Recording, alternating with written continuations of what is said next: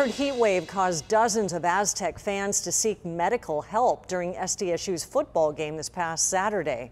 ABC 10 News reporter Nia Watson shows us how the sweltering temperatures impacted the big day and what the university plans to do moving forward. We just had the hottest football game in the 100 year history of Aztec football. SDSU's historic opening of Snapdragon Stadium overshadowed by Saturday's record heat wave.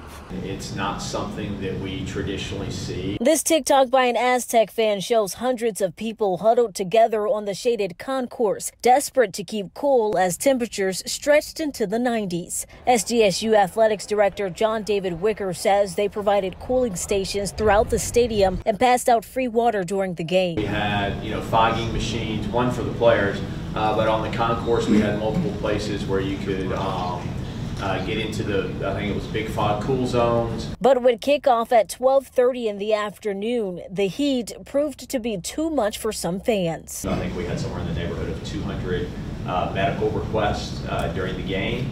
Uh, obviously, the overwhelming majority of those were uh, related to the heat. Wicker adds he estimates between 20 to 30 people were taken to the hospital. But despite the heat, Wicker says he believes fans were able to enjoy the game as much as they could. We still felt good about the turnout. We still felt, you know, good about how the building operated. He says he doesn't expect future games to have similar issues since most are late afternoon or evening games. But he says Saturday was a learning experience. Going forward, if we know we're going to run into something like that, we now have a plan what it looks like when it's, you know, 100 degrees at 1230. In Mission Valley, Nia Watson, ABC 10 News. And Falck, the city's ambulance provider, says its call volume was up 122% over normal on Saturday.